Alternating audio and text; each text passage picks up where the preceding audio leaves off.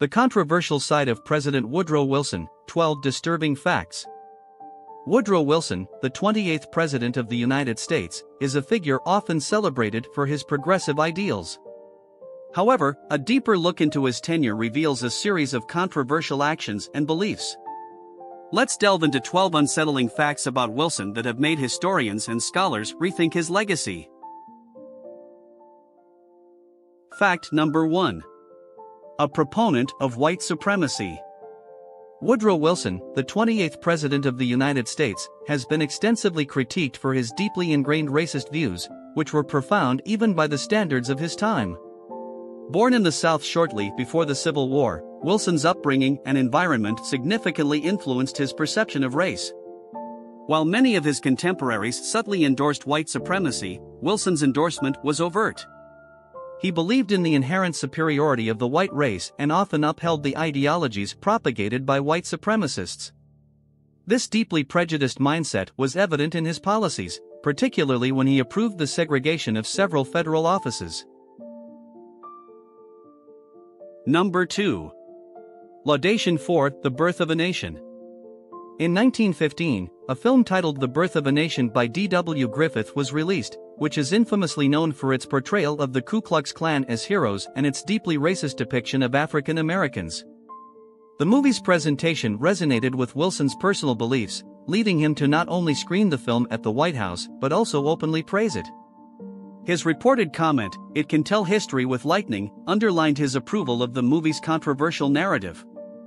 Such an endorsement from the highest office in the land gave the film an unwarranted legitimacy and further empowered white supremacists. Number 3. Women's Rights, an Afterthought. Wilson's presidency witnessed the historic passage of the 19th Amendment in 1920, granting women the right to vote. However, it's crucial to note that Wilson was not initially in favor of women's suffrage. He believed in preserving the status quo and had reservations about women participating actively in political processes.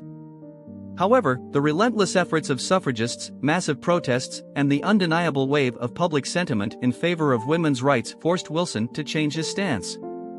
By 1918, facing immense public pressure and recognizing the strategic political importance of the amendment, Wilson grudgingly began to support the movement, leading to its eventual ratification. However, his late support is often seen as politically motivated rather than a genuine change of heart. Number 4. Prohibition and its consequences. President Woodrow Wilson was a fervent advocate of prohibition, which sought to ban the production, sale, and transport of intoxicating liquors. He believed that banning alcohol would lead to a more moral and upright society, free from the ill effects of drunkenness. In 1919, the 18th Amendment was ratified, making prohibition the law of the land. However, while the intention behind prohibition might have been noble, its implementation led to a surge in organized crime, illegal speakeasies, and the widespread production of moonshine. This illicitly produced alcohol lacked quality control and often contained toxic substances. As a result, many unsuspecting Americans fell ill or even died from consuming tainted beverages. Instead of ushering in a period of increased morality, prohibition inadvertently caused more harm than good.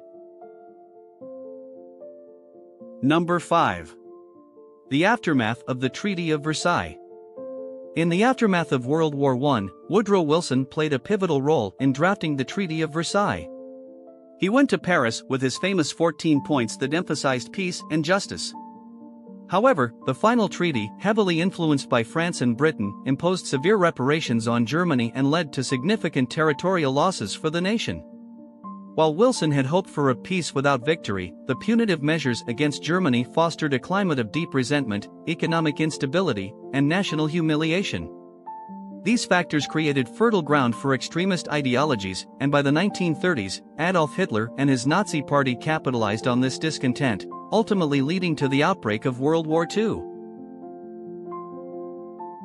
Number 6.